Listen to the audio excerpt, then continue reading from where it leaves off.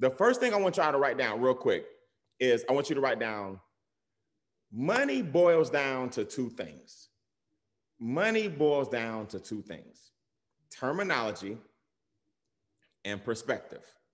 Terminology and perspective.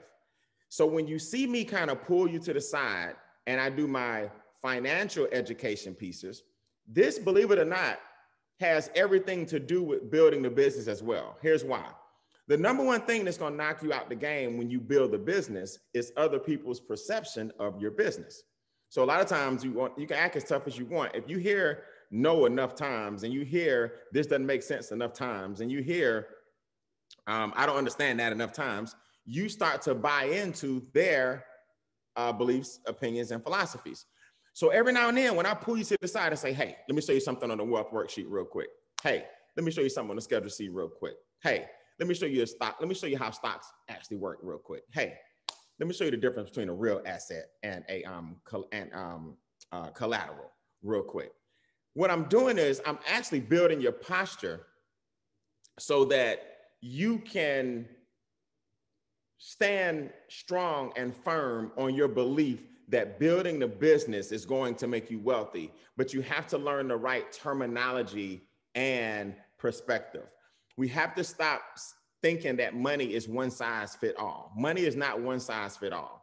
For example, my portfolio and some risk I can take won't be the exact same thing as the portfolio of somebody that's 65 and the risk they can take. Your portfolio and you investing in real estate right now might be great, but you live in such and such where this person should not invest in real estate right now because they still got they live in an area where real estate is not booming and they may have some things to get off their credit. See, anytime people talk about money, they try to give financial advice and they don't understand it, it actually depends on the terminology or actually the perspective of the person that's listening. Does that make sense? So never give one size fit all advice and never listen to one size fits all advice.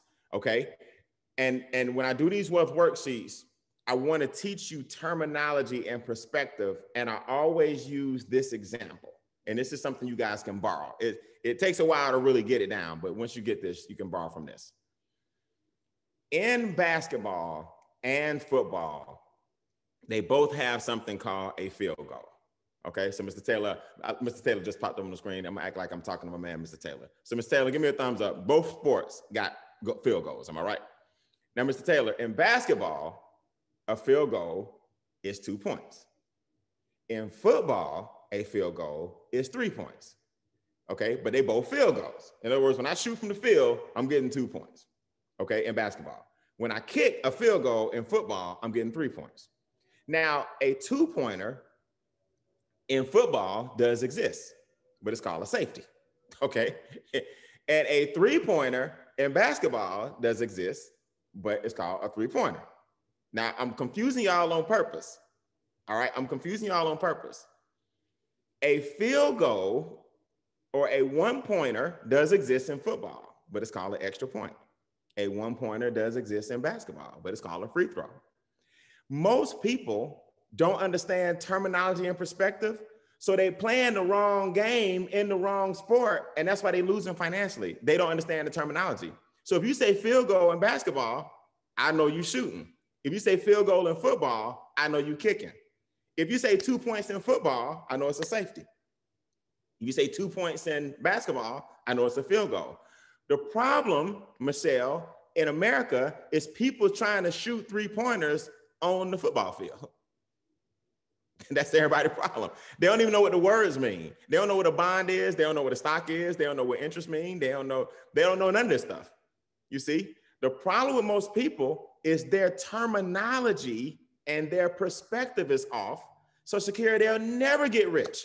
If you, it's like me confusing you with these words in sports: safety, three pointer, field goal. Well, Brian, I thought that was one point. No, that's one point in basketball. That's a free throw. Or what's one point in football, or it's an extra point. But I thought it was a field goal. Well, you do kick it through the uprights, but it's three points if it's a field goal. But I thought that was basketball. Well, it's two points in basketball. See, that's what that's what America's doing to you right now. They got you confused about stocks, bonds, mutual funds, e- NFTs, EFTs. They got you confused about cryptocurrency. They got you confused about whether or not you should invest in real estate. They got you confused about interest rates. They got you confused about credit cards, student loans, 501c3, 401k, 1099, Schedule K, Schedule C, W4, W2, W9. You see the confusion? so, what they want you to think is that finances is difficult. I'm here to tell you it's easy. Finances is easy. Don't be afraid of it. Don't be afraid to teach your children finances. But look, you got to have the right terminology and perspective. See, it's hard when you don't even know the words. Like somebody tell you, um, your 401k is a great investment. Do y'all know that's actually not, that's not the right terminology. 401k is a tax code. Okay, your 401k is a tax code. It's not even an investment. It's what protects the investment. The investment is what your employer is putting in your 401k. You see, how much interest would this stock bring back? Believe it or not, y'all, stock stock doesn't bring back interest. It brings back dividends. You, you see, see people see when I talk to people and they like, well, I got a whole bunch of interest on that stock. You didn't get you didn't get no interest on that stock. stock bring stock pays a dividend. You see, so terminology and perspective, once I teach that, you are going to empower so many people by giving them a basic educational lesson in how money works. Okay, y'all, that's how you're going to attract the masses. The masses just don't want all of the confusion and the uh, extra extra sauce on it that make it all hard. What most people try to do they try to make themselves sound smart by giving you a bunch of verbiage. And then in doing so, they don't realize, look, we didn't even need all that. Just tell me how to save, make, and grow some money.